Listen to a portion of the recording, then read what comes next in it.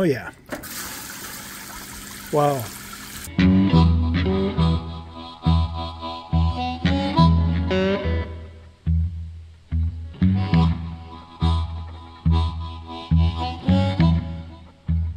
Keep in mind, we've had zero problems with our water system. Um, this is just an upgrade. Our mainer bean is equipped with this good quality SEAFLO water pump. We're just going to change it out for this slightly larger model. Okay, I'm going to shut off the pump, relieve the pressure, and get to work.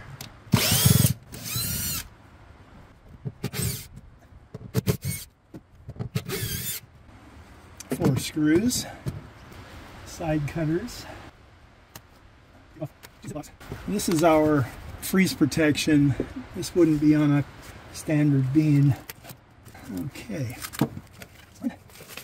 That's what it would normally look like, except for this bit of uh, heat strip that's running along the uh, water line and also across the pump head. So I have to cut these more zip ties.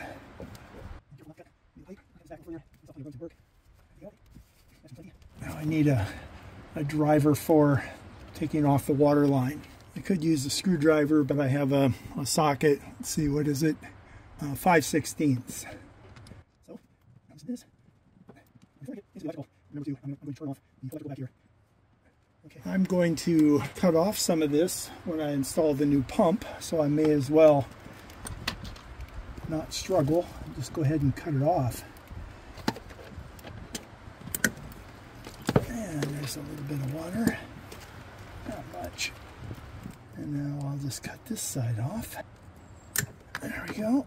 Need a Phillips screwdriver again. Get this keeper off. There it is. I'm sure I'm going to have plenty of wire on the new pump. So I'm just going to pull this back a little and cut it off right at the connector. There it is. That's the red to the pump. Here's the black to the pump. And now the old pump is disconnected. I'll round up the new pump. The inlet is on this side here. You can see the arrow this pump comes with a, a sight glass um, filter and because the inlet comes this way we're going to want to mount it like so. I looked into the SEAFLO. It can be mounted in any position, horizontal, vertical, it just doesn't matter. So I'm going to install it, you know, what looks like upside down. I found that I want to come down three quarters of an inch from the bottom of this flange that the uh, stove mount is lined up to. Center punch mark. I'm just going to put in one fastener, level it out, put in the others. The mounting feet are a pretty um, stiff rubber material. There's the size for my pilot hole. Bean uses some very high quality panels for their construction, so you do need to drill pilot holes. You won't be able to start a screw in this type of material. It's a multiply with a, uh, a melamine type bonded surface.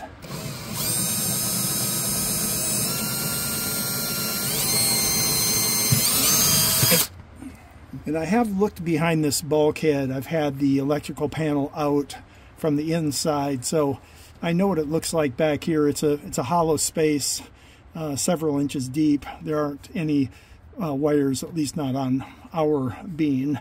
There's nothing uh, attached to this back wall, so it's a safe place to drill. Still, you don't want to drill clear to the end, just until you get past the uh, material, and that's deep enough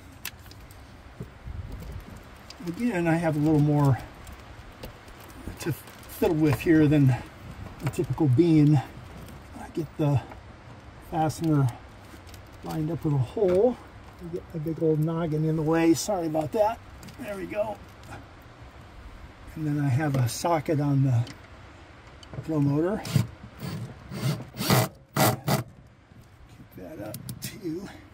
That's one. Can't quite get the, the drill motor in to where this is at. The head's too big. So I'm going to make a mark. And what I need to do is just mark the center of this mount there. Our cabinet has lighting. Uh, it's something that I added to the trailer. If you don't have lighting in your cabinet, you're going to want to set up some type of a work light for doing this job. I'm going to have to double check that with a tape measure. But that's about where they belong. And now, sorry to say, I'm going to have to take that back off. But this is uh, real life, right? Things don't always go exactly as planned. That's okay. I should have a square is what I should use, but I don't have one handy. This has got to be reasonably square. I tore off a lid to the, the box that the pump came in. So we want this to be straight down from the other mark.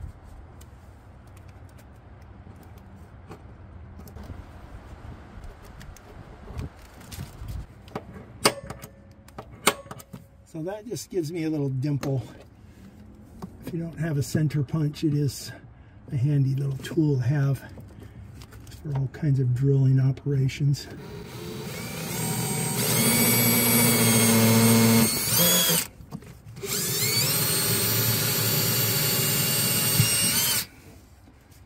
because it's such a, a, slippery surface, you know, as the drill bit spins, it wants to move off of the line.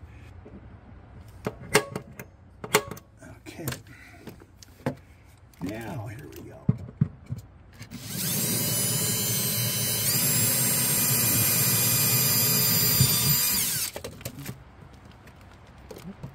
Okay, the wires are clear. Drive it home. Okay, leave it pretty loose because I need to get these other fasteners in. No, come on, Dave. Okay, there it is. Give it a shove and it feels like it's sticking to the hole. There it is.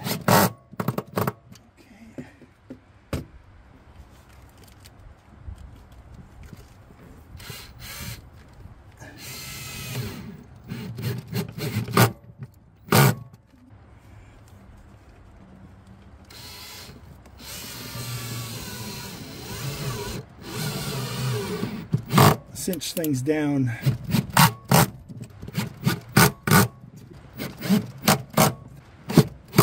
Okay, they are tight. The pump has movement, which it's supposed to. There's no way it's going to fall off the wall. I'm expecting that pump is going to work great. If you don't have wire strippers like this, you probably have some sort of wire strippers. And I'm just going to do the hot first. I'm just using a common uh, crimp connector. It's the spot right there. A good crimp, you know, it's basically a, a mechanical bond. That's all it needs. If you own a trailer, you know, I think it pays. Eventually, you're going to want to get a little connector kit this is just something I've had for you know years and years and I just add to it when something empties out. You want to twist the the cut end fairly well because you don't want to push the wire in and have it turn into a little rat's nest. Okay, those are rock solid. Uh, you can run this pump dry it doesn't have to have water in it. So I think I'm going to turn on the power and check this pump out real quick.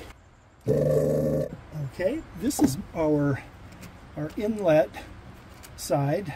coming from the tank comes up and I want to cut this off the length of the uh, connector end here. Uh, this pump does not come with these little connectors. I'll have a link for this in the description. You do have to have these adapters to go to the size the bean is plumbed with. I have a tubing cutter in my shop, which is a little ways away from where I'm at right now. Um, a razor knife is going to work just fine. So we want to cut this off even with the uh, shoulder of that connector, which is right here. That's it. And the screw clamp is already on our tubing, so that just slips over here. A nice snug fit, which is great. I mean, that's what you want. It's a little bit of a pain to get it connected, but there we go. That's on. Now, put this in the hand driver. You don't want to overdo it with these, or you can um, tear up the, the sprocket essentially that's on the, the banding material. Just a good snug screwdriver tightness is all that's needed there. I don't need to trim it off. Okay. But now I have learned a little something about the snug fit. Let's get just a drop of detergent. We use this um, Dr. Bronner's. We have different types. This peppermint stuff I've been using since the 70s, backpacking and as a wildland firefighter. You know, you can use it as shampoo. You read it. I mean, you can you can brush your teeth with it. It's just a dual all biodegradable soap.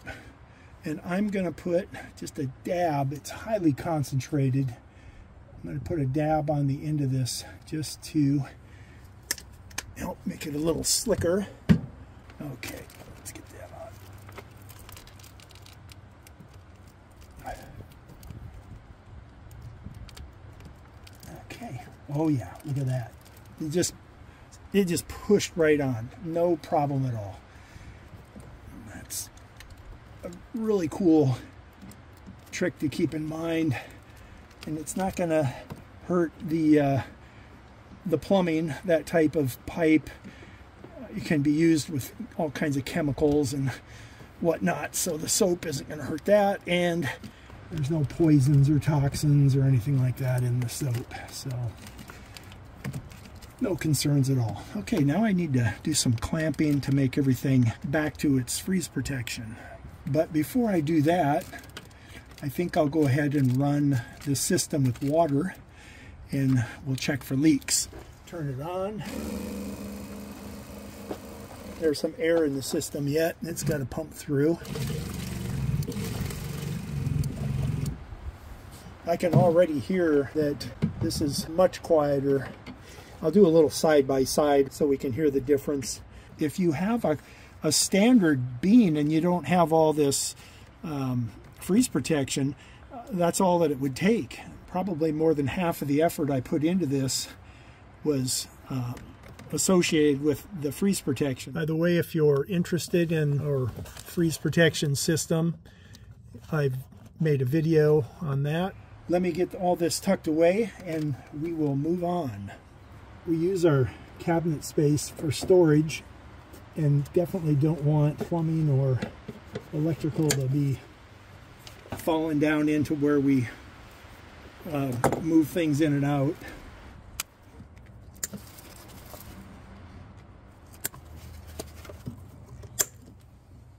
That looks like it.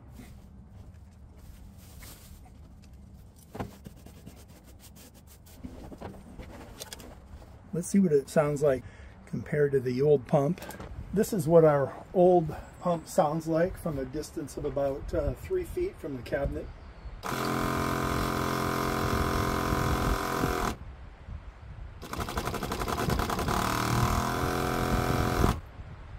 And here's what the new pump sounds like.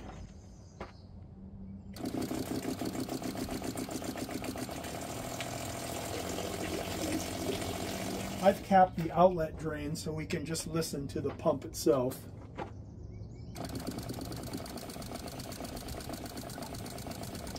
And that's it.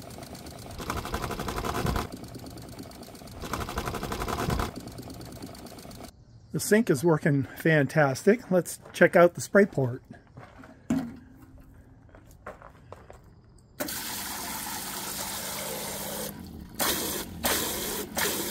Oh yeah. Wow. Yeah, we could use a little more pressure for hosing off dishes, washing your hair, taking a shower, things like that. Having this kind of pressure, think in some ways it actually can conserve water because um, the rinse is more effective. I really like this little shower head. It's a lot more functional than our old one. It's also quite a bit more compact, so it's easier to store in our shower box. And I really like the simple and convenient off and on trigger. Um, one of the things that I really like about this pump is you can actually set the pressure using an Allen wrench at the uh, bottom of the pump. It can be cranked up to, I think, um, 45, 50 pounds, something like that. I think the old pump was running just a little over um, 25 pounds. Anyway, I really like this upgrade. You've probably noticed our shower head mount. The only issue I have with this, it is made entirely of plastic and clearly it's not going to hold up to the rigors of camping for very much longer. I don't want to wait until it breaks down on a trip. So um, we're replacing it with this much nicer quality um, shower head mount. Stainless steel. It essentially does the same job, but just a higher quality. Place it on the surface and you twist this until it clicks into place. It could go up near our roof line. Give it a twist until it clicks to the end and that's it.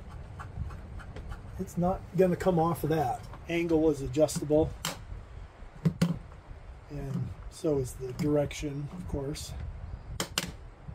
To remove it you just twist the opposite direction and then there's a little tab on the suction cup that you peel back.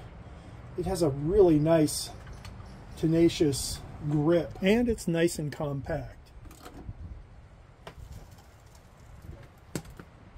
Look for a link in the description of the video.